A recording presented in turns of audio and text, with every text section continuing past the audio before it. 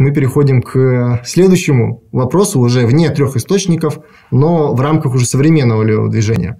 Соотношение теории и практики.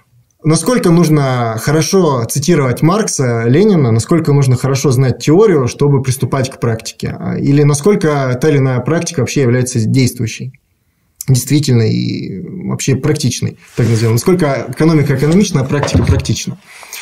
Здесь как раз-таки э, основной вопрос в том, что многие типы практики, которые левое движение сейчас делает, оно является прямым следствием того, как левое движение вообще появилось в России. Э, многие, думаю, помнят 90-е, многие помнят то, как происходили определенные процессы тогда.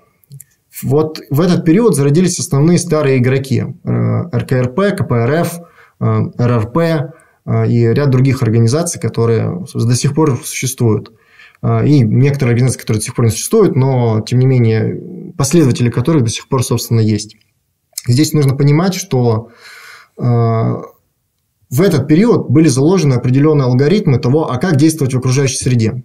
То есть тогда были выработаны формулы, которые тогда были абсолютно эффективны, но которые сейчас уже не приводят к какому-либо результату. Например, это проводить митинги с флагами, стоять, привлекать к себе людей. Сейчас э, подобные митинги по любому поводу определенные организации проводят.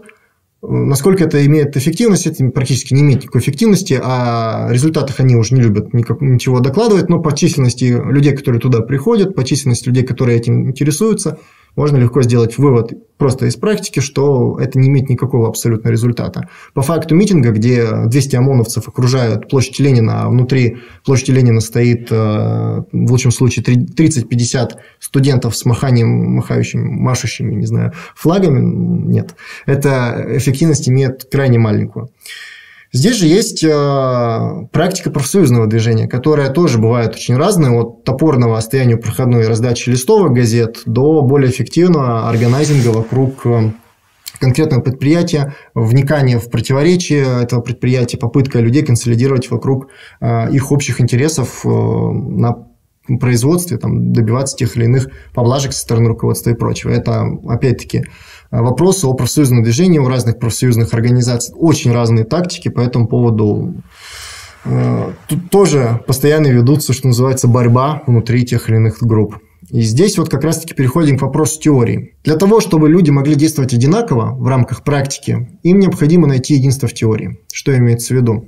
У нас есть практика предыдущих поколений. Что такое вообще теория? Это суждения, данные по практике наших предшественников. По сути, мы, изучая теорию, мы становимся на плечи гигантов прошлого, на плечи практиков прошлого.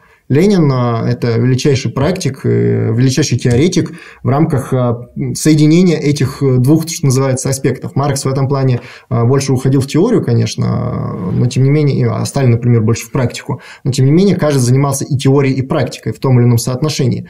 И в этом смысле у нас есть Э, прямая корреляция между пониманием, единым пониманием в теории и единой, соответственно, практикой.